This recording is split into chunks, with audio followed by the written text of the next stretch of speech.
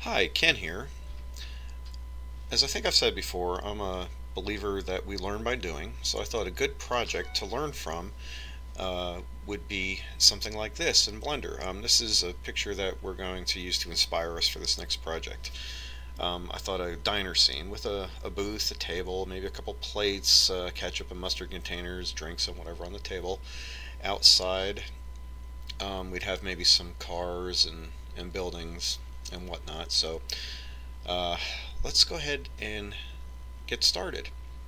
I'll turn our main window view back here to 3D view so it looks like the normal view in Blender and you'll notice down here I am running uh, screencast keys so you'll be able to see every time I touch a key on the keyboard it will display down here or every time I click the mouse it'll display maybe a little glitchy because I don't think it's officially supported in version 2.78 of Blender but we'll give it a try and see what happens anyway. Alright first let's make this window appear just a little bit bigger. We're going to change our view over to a UV image editor in this window. And I am going to open up an image that we're going to use uh, to model from. Uh, if you hit this button here it'll show thumbnails. And I was thinking this right here. Okay. So I kind of like the look of these red booth seats here. So let's see if we can model one of these. Um, Alright so in our view let's go into front uh, orthographic view. Um, we're gonna control grab our object here and snap it up so it sits on the floor and uh, that'll be the start of the base of our seat here which just looks basically like a black box I guess it's kind of flared out at the top so uh, okay first uh, I was thinking that in this scene we would have some characters sitting at the booth at, uh, across the table here so let's put an object in our scene that's roughly the size of one of our characters. Uh, that'll help us proportion this object a little bit better. Alright, so put the 3D cursor over here. In object mode, I'm going to shift A to add a mesh cube. Now I want to make this um, the same size as a character in our screen, I mean in our scene here, so we need to know um, the dimensions of this uh, object. So if, if we tab into edit mode, hit N to bring up our N panel, and over here, let's see, where are we? Ah, here we are. Under Mesh Display, under Edge Info, let's check length. So now it'll show us the length of our object here. Now here in the United States, we use uh, the imperial system, which is feet and inches um, unfortunately, if uh, someone were to tell me that something is two meters tall, I have a general idea, but it's not not really all that great. I need to know in feet and inches. So I'm going to set my units to feet and uh, in the imperial system here. So that is now showing that our object is two feet uh, on all sides. So I want to scale it in the z direction and make it about six feet. Uh, and if you hold shift, you get a finer control. That's, there we go, six feet. Okay, two feet. Uh, square though is a little big, I think. So what we'll do is hit um, scale shift Z. That will scale in the X and Y but not Z. And we'll scale it down so it's about, right about one foot. Okay. So here's what we have. Uh, for the object um, that's going to represent how big a character is in our scene. Alright, while we're at it, let's go ahead and we'll name this object human reference and we'll name this object seat base. Okay. So let's, with this object selected, our seat base, let's tab into edit mode going to hit numpad period so we center on that object. So when we rotate, we're rotating around that object. So let's see if we can't get this into a little bit better proportion. Uh, I'm going to hit A to deselect everything, Z to go into wireframe mode, uh, B to box select, so I can select the top vertices, both the ones in the front and the ones in the back. And we'll just pull that down in the Z direction somewhere somewhere around there. Looks looks about right. And then we'll scale it in the X direction so it flares out just a little bit. Something, something about like that looks pretty good. Alright. So now in the real world, um, you don't see perfect 90 degree angles on something, right? Or perfect points like this. If you were to rub up against something like that in the real world, you'd probably cut yourself. So even though I don't think we're going to go for photorealism in this project, uh, probably we'll probably do something a little more cartoony, I think. But let's see if we can't round off those edges a little bit. There's a couple ways we could do it, but since this object is going to be more or less square, um, you know, flat on the sides, and we just want to round off the corners, let's go to our modifiers tab and add a bevel modifier. Alright, here in edit mode, you'll notice that we can still see our original object, but I mean our, our original mesh here, but the object that's being modified by the modifier is kind of underneath it. Now that's that's a little uh, that's not uh, what's the word I'm looking for? It's a little too coarse. So let's add um, bring up to three yeah three segments looks about right. Um, the profile uh, slider here allows you to change the profile. You can bevel something in like so if you're wanting to uh, have it beveled that way or you can make it stick out uh, kind of sharp like so but we'll leave that at 0.5 I think that looks about right. But we need to make the width smaller. So let's bring it on down until it looks some something like that I think looks pretty good. Let's go into object mode. Yeah I think that looks pretty good.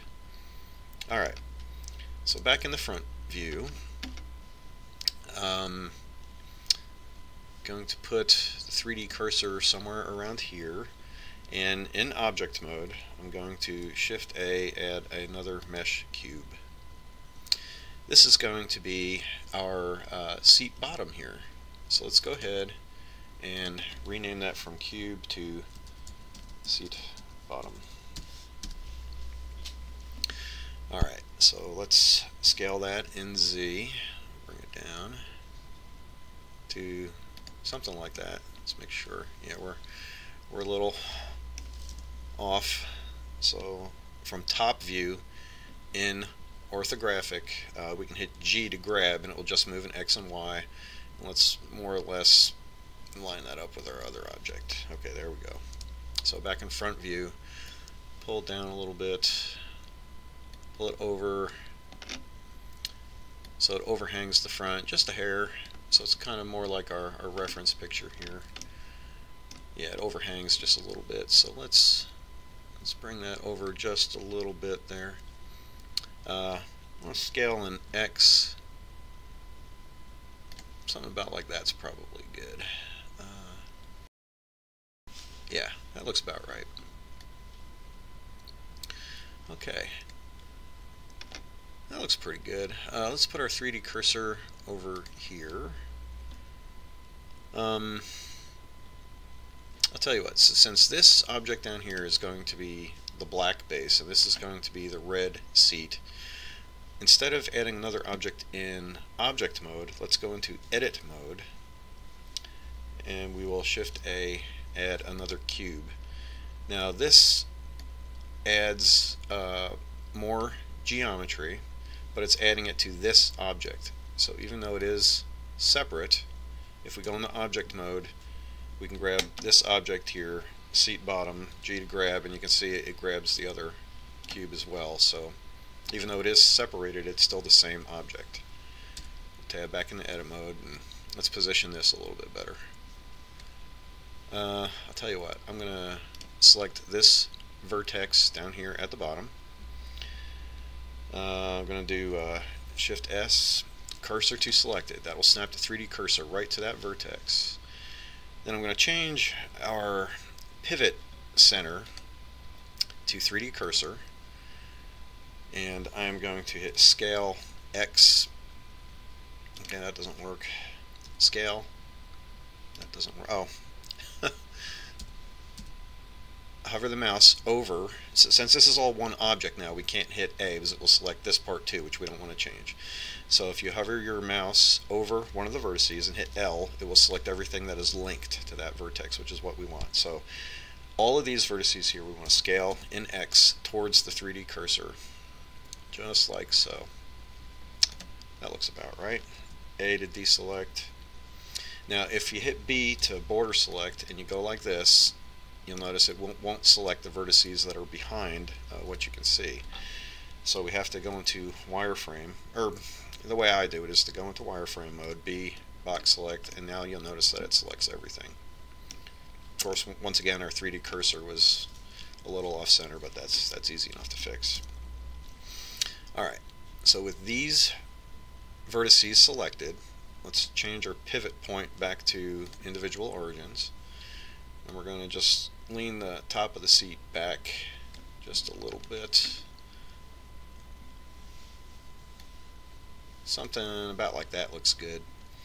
And then uh, scale in X because we want to make it kind of thin at the top. I think that looks that looks pretty good. Yeah, uh, I think I think something something like that looks pretty good. Okay,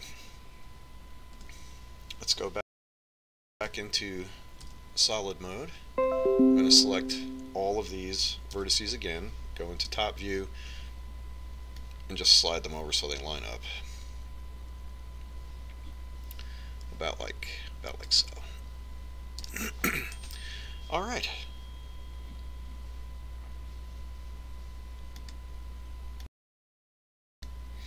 Okay, so here we are at this point. Now, now we need to shape these a little bit more, right? So, so it looks like our, our reference picture here a little bit more. Now the bevel modifier won't work for this because this this object here has smooth curves in it. So let's add um, to this object, which we've named seat bottom. We probably just need to change that to seat since we're including the back in that we're going to add a different modifier under our modifier panel here. We're going to add a uh, subdivision surface modifier. And in edit mode, you can see our original mesh here, but underneath it you can see the modified mesh that the subsurf modifier is, is giving us. And uh, doesn't look too great right now, so there are some things we need to do to fix that up a little bit. Um, first, let's change our views up to 2. Uh, so what we view in the viewport will be the same as what it's eventually going to render out. Um, while I'm thinking about it, let's go back into object mode and give this smooth shading so it looks a little bit better. And we'll do the same thing with this object down here. Alright, back in edit mode. Let's work on the seat, uh, the bottom of the seat first. Deselect everything. Control R. We're going to put a loop cut uh, left click and we're going to slide it over towards the front. Sharpen up that front edge a little bit. Control R another loop cut. Left click we're going to slide it to the back to sharpen that up a little bit. Okay. Now from the side we want this round part on the top here but on the bottom we want it to be nice and flat. So let's do control R loop cut there. Now a loop cut will um, you'll put a loop cut on the mesh depending on where your mouse is. It will go uh, across the edge where you put your mouse. So left click there and we're going to drag it down. Looks pretty good. Now we need to sharpen up the back so control R. We'll put a loop cut there and bring it on back this way. Okay, not too bad deselect, Z to go in the wireframe. I'm going to hit C for circle select. Click on those vertices right there. Bring them straight down. We want to be something like that, I think, in the back. So in object mode, we have something like this now, which doesn't look too bad. I think, though, that we need to fix this curve here just a little bit. So let's do uh, Control R, another edge cut here. That looks pretty good. Just just by doing that, it looks pretty good. Um, I'll bring it up just a little bit more to. There we go. Something about like that looks pretty good, I think. Let's do one more edge cut or loop cut right there. And we'll just lock that in place. And I want to select with our circle tool. Now if you scroll your mouse wheel, you can change the size of the uh, area that you're going to select. If you left click, you select. If you shift left click, it will deselect. So it comes in handy. You can go along, along here and decide, well, I don't want that one, so unselect that one. But we want a, a little bit of a curve uh, to our seat here. So I'm just going to select those. Uh, you right click to get out of your circle select. And I'm going to drag those up a hair a to deselect, and then we'll select these, drag them up a hair, like so. Alright, let's see what we got. That looks pretty good for the seat bottom, don't you think? I think so. Um, Alright, now let's see about the back of the seat here, because that looks kind of strange, just floating in the air like that. Um, Alright, first we need to sharpen up the bottom. So let's uh, Control R, we'll put an edge loop and drag it all the way down about like that. Looks pretty good. Let's uh, sharpen up the edges too. So Control R. We'll bring loop cut over that way some. And we'll bring another one over that way, about like so. And uh, sharpen up the top. Control R. We'll bring one to the top, like so. pretty good. Yeah, looks pretty good. Not too bad at all. Um, now I do want to round uh, round the back uh, where you would be sitting against just a little bit. So uh, let's put if you roll if you initiate a loop cut with Control R and you roll your mouse wheel, um, you can add multiple loop cuts. You can do as many as you want. Um, I want to do, huh, yeah, let's do three. So we'll just lock those in place. now, let's see. This one, if you Alt right click, press G twice, GG, and we can slide that down to right about there. I'm going to hit Z to go in the wireframe, C unselect those. Alright. And these we want to pull forward about like like that I think. Yeah, that looks that looks pretty good. Okay, well, we'll, we'll leave that for now. Um, Let's round off the back a little bit. So we'll hit A to deselect, and we'll select these right here. Pull them out a little bit. Select those right there. Pull them out a little bit. Alright, let's see what we have here. Uh, looks like we need to pull this out some down here too. So let's add one more loop cut right there. We'll deselect those, pull these out a little bit, a little bit more, like so. Let's see what we got. Okay, I think that resembles, because it looks like it kind of, yeah, it looks kind of like it goes up a little bit, and then it kind of curves a little bit more towards the back. So I think that looks pretty good. Not too bad, I don't think. All right. Alright, let's let's fix this at the bottom here. So I'm going to hit L to select all of that and I'm going to hit G to grab and Z so we're constrained to the Z axis so now if we move left and right it doesn't move but it only moves up and down so I want to move that down so it more or less touches our base and let me try something here what if we alt right click this bottom loop here and shift. Okay. Hold on. Okay, we, we do we have that bottom loop or more or less selected. Let's see. Okay. I'm going to see if I can get in here. Okay, I think I got the whole bottom. Okay, wait a minute. Shift tab, on the edge select mode. I'm going to unselect that edge and shift select that to unselect it because I only want that bottom loop there. Okay, go back into solid view. And what I want to try is instead of adding another loop cut to sharpen that up a little bit, I want to increase our mean crease value here, weight used by the subsurf modifier. Let's zoom in there and move our mean crease up and see what happens here. There we go.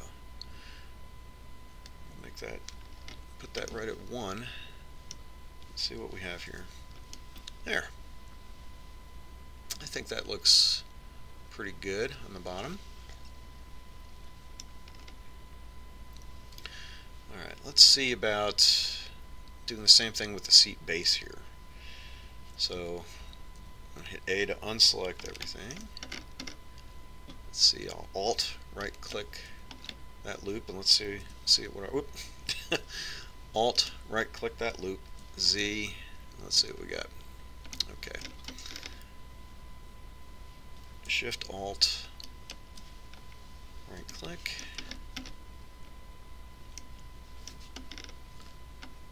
Shift Alt, right click, and Shift Alt, right click. There we go. Alright, we finally got that bottom loop there selected. Alright, go back in the solid mode, and we'll do the same thing with that. We'll increase our mean crease I'll put it all the way up to 1. Let's see what it looks like. That looks pretty good, I think. Alright, let's take care of this gap between the seat bottom and the seat back here. Go back in the tab mode. I mean, go back, tab, back into edit mode. I'm going to go back in the vertex select.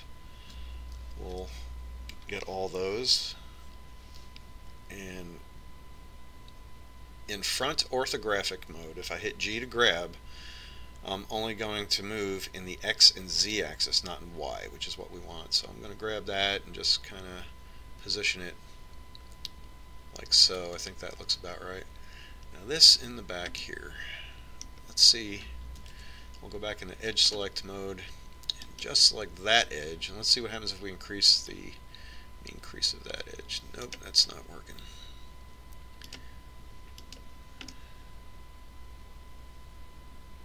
Okay. Alright, in this case then, back in the vertex select, let's add another loop cut right there. Control R, loop cut. Okay,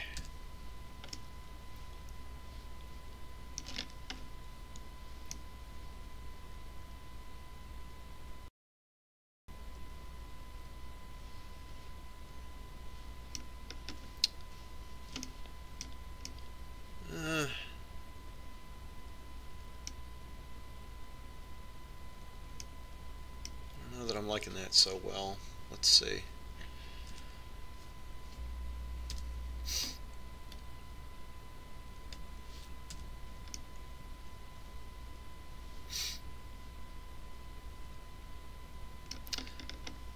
That looks a little too square to me.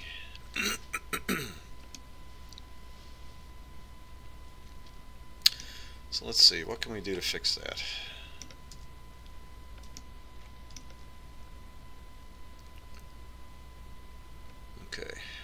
Alt, select that, hit X, and we are going to uh, delete the edge loop. Yeah, because I think that made it look a little too square on the edge there. Um, maybe that's not too bad. Well, we can always play around with it later if we want to. We'll, we'll leave it like that for now. Okay. Uh,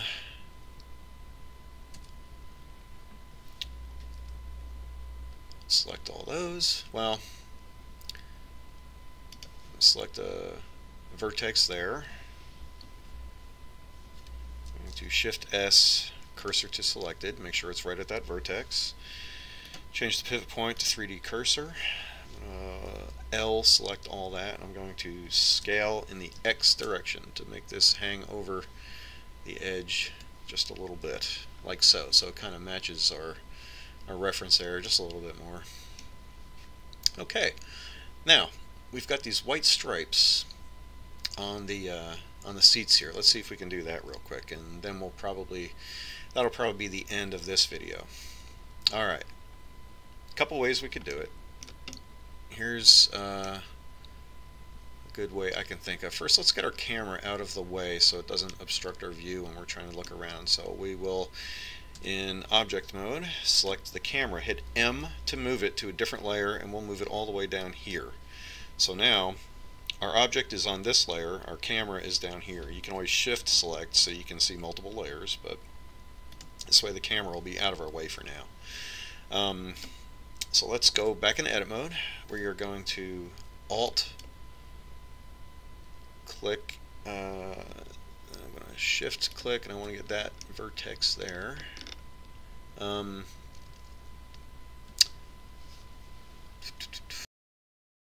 yeah, I think I think that looks good right there. Okay. So now in edit mode, I'm going to hit uh, Shift D. That will duplicate our selection there. I am going to hit Y to because it's in transform mode, um, mode now, so it'll move around. I'm going to hit Y to lock it to the Y-axis and just move it out to the side here. Um, then we'll hit P to separate by selection. So now this is a separate object from this. Uh, with I'm going to select that object now and we're going to rename that uh, maybe stripe. That sounds good. okay, so that is going to be what we're going to make our stripe out of. Let's um, let's see. We'll go object, convert to curve from mesh. So now this object here is no longer a mesh, it's a curve. Now under our curve uh, tab here, let's change our fill uh, from half to full. Alright. Let's kind of zoom in on that, our curve object there. And um, let's uh, raise our extrude. Yeah? yeah, there we go. Okay. We're going to extrude it out just a little bit.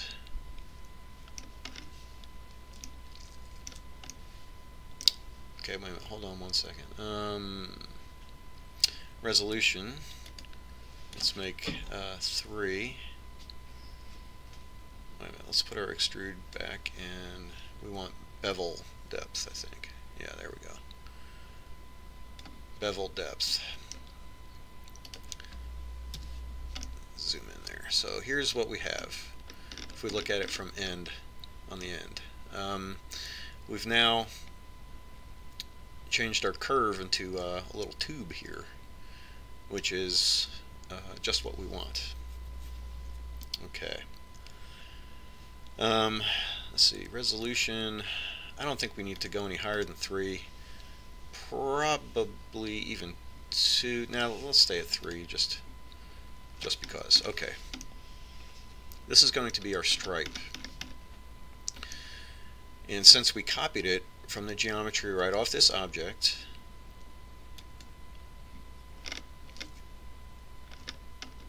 it should fit right on, on that edge there uh, we may have to make some minor adjustments. Uh, first, let's move our the center or the origin of this curve object back to the the object. So um,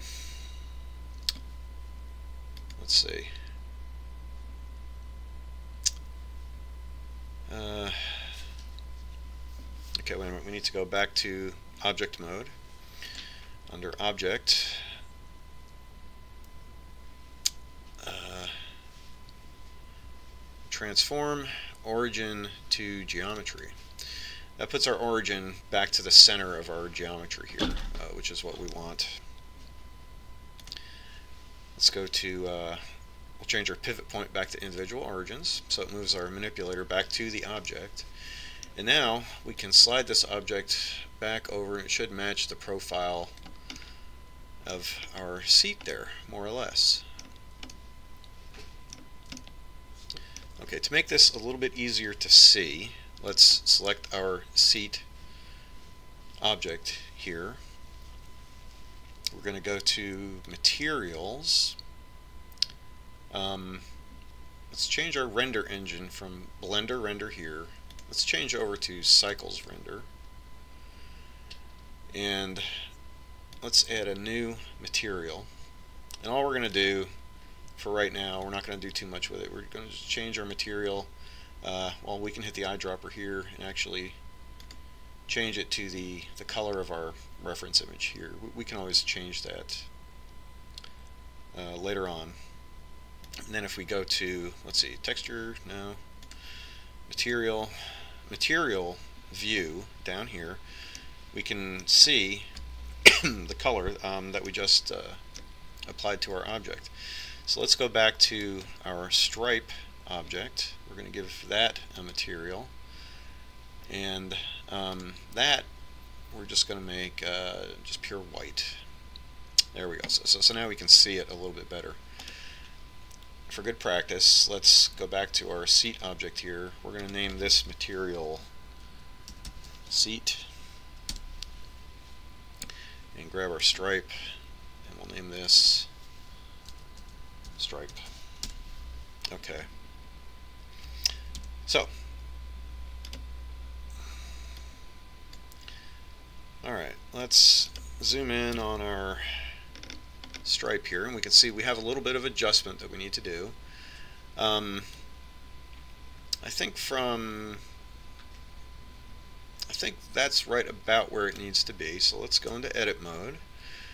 I'm going to grab this last vertex down here. I'm going to hit E to extrude and we'll just bring that straight down to the end here like so.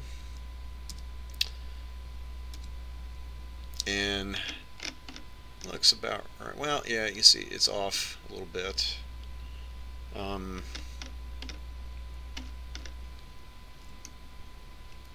okay everything needs to be moved just a little bit so it stays in contact with our seat so what I'm going to do is hit O which is the same thing as pressing this down here to allow proportional editing. And if you hit G to grab, you'll notice now that it moves the whole thing, not just the one vertex. So let's hit G to grab, use the mouse wheel to scroll in and narrow our area of influence. And I'm going to move that just like so, and then we'll grab this up here, move that down just like so. Alright, that looks a little bit better. Let's see how we're doing at the other end here. Alright, looks like if we grab that, uh, zoom in a little bit. I'm going to constrain this to the z-axis and bring it down a little bit, about like so. Then I'm going to hit uh, O to disable proportional editing, hit G Z and just bring, whoops, got another vertex here at the end. Shift select that one. I'll just grab the Z handle and move both of those down. Shift to deselect that one, move this one. That doesn't work out so well. So what I'll do is uh, hit E to extrude. Just bring that down and see. Oops.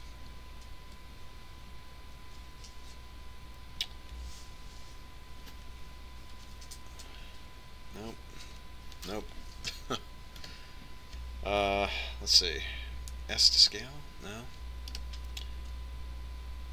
It's not shift. Nope. Control S? Nope. Um, Alt S? Okay, yes. Alt S. You can scale the uh, the points of a curve. So we'll scale that down a little bit. Grab it, move it down there.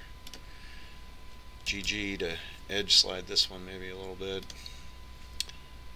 Alt S, scale it a little bit down. This one, Alt S, scale it a little bit down. And this one, we'll just extrude and kind of bury it down at the bottom there. I think I think that looks good. Well, that may take some fiddling around with, but I won't make you sit there and, and, watch that whole thing, but there, we have a stripe done. Now in object mode, if we hit Shift D, that will duplicate it, and it's in transform mode. So I want to lock it to the Y axis, and we'll just slide it over to the other side. So now we have our stripe on the other side. Alright, um, I think this is a good stopping point for now. When we come back, uh, next time we'll make the stripes for the back here, and maybe we'll talk about proportioning this object. Although it looks pretty good, but we want to proportion it so maybe a little bit so it more matches our human reference figure here. Okay, pretty good start, but I think that's long enough uh, for this video. So come back and join us in the next video. We'll see you then.